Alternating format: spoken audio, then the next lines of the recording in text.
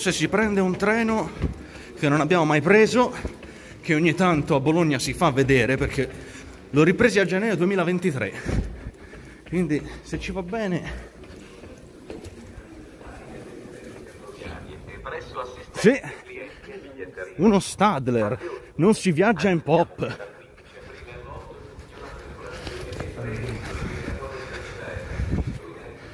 Eh sì. Ok, ce la facciamo. Bologna sì delle sette e mezza però noi, eh. Ah, va benissimo. Va benissimo. Vedi che se la gente sbaglia finisce dritta a Bologna qui. E vedere come mi pento di aver preso sto treno, eh? Stai a vedere. Perché mi sembra bello zeppo. Comunque l'altra volta c'era il pop qua. L'abbiamo visto andare via. Ok, molto bene. Quindi oggi farò già un video utile lo faccio, ovvero il viaggio sullo Stadler che non ho mai fatto. Vi dico subito che i sedili fanno cagare in tutto e per tutto. Sono proprio sedili stile swing, duri, duri, duri, duri. Però da notare che curiosamente i, questi braccioli sono quelli dell'MD di Vivalto. Finestrini come Stadler li sa fare, non deludono mai, fossero apribili sarebbero meravigliosi. E ora si vede tutto il resto.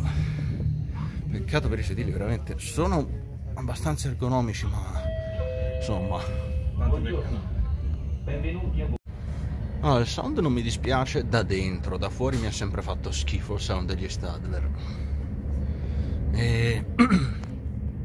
che dire, tutto sommato è migliore in tutto e per tutto del pop rispetto, cioè tranne ai sedili, tranne ai sedili, su quelli non, non c'è confronto.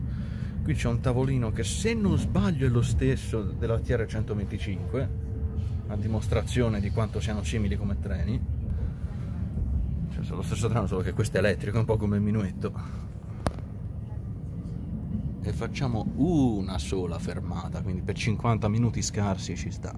Ok, piccolo appunto su questo treno è più rumoroso di un pop. Si sente più rumore questo devo dirlo. Non so se complici sono i grandi finestrini ma non credo perché il vetro è un grande isolante acustico. Viene tutto dalla zona carrelli sentite che chiasso. Intercomunicante che è aperto. Sì. Quello è un intercomunicante che doveva essere chiuso infatti negli ATR 125 è chiuso l'intercomunicante questa dovrebbe essere già la famosa galleria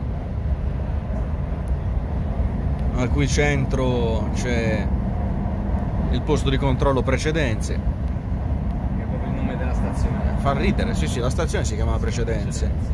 Stazione sotterranea adibita al posto di movimento. Era una stazione effettiva da quello che ho visto.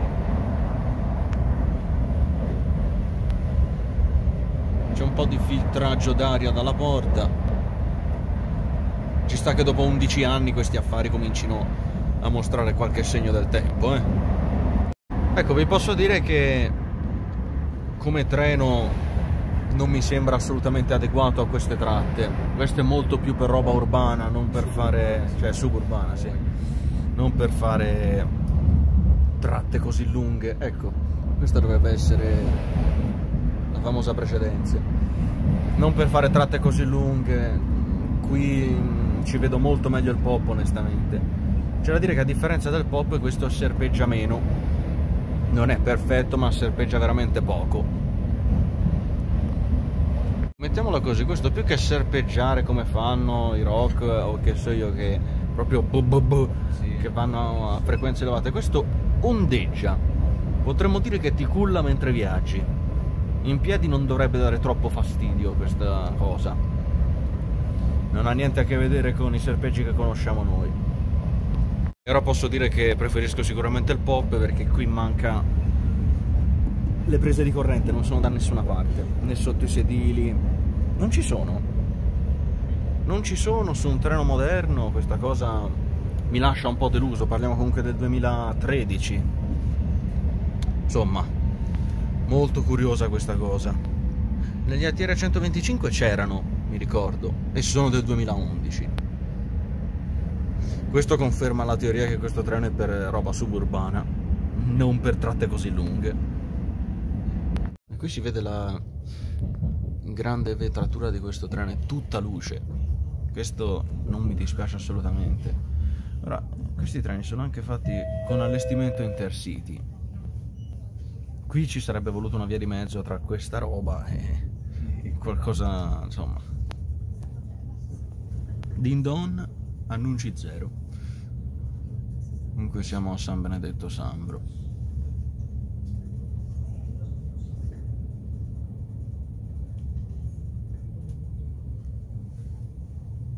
Oh. Ah, questi sono i mezzi con cui mi sa che fanno i lavori oh, questo stoccaggio di roba. Sì, sì. Perché qui alle, alle 9 chiudono tutto, chiudono la linea e cominciano a lavorare. Fortunatamente sono presenti le pedane, questo già va meglio. L'unica cosa di questo treno che posso dire è che i freni non li senti. Persino quelli del jazz fanno, se uno ha un ottimo orecchio, qualcosa senti. Questi sia dal vivo che, che dentro non riesci a sentirli i freni. Perché mi sa che questo treno ha un'ottima frenatura elettrica. Ci vorrebbe bello, un bello scatto SCMT per sentire i freni. Come ripresa direi niente male, la potenza c'è. E purtroppo la forma a suppostone che bella aerodinamica, questo non glielo si può negare, ecco.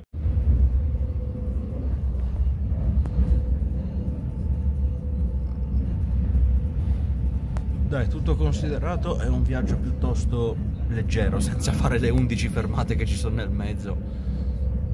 Ma tanta roba.